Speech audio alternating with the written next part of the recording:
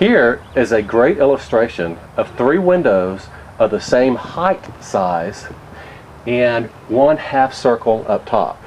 So these windows, these three windows, they allow for pop-in solar screens. And what I mean by pop-in solar screens, it's going to be a solar screen like this, whereby we have put springs here in the top.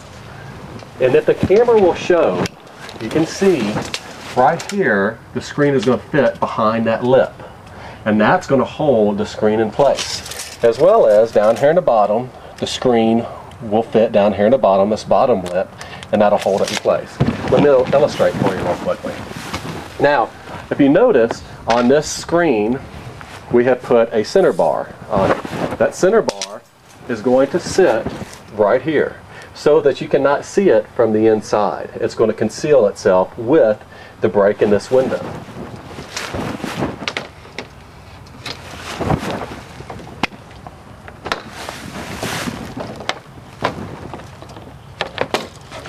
There you go.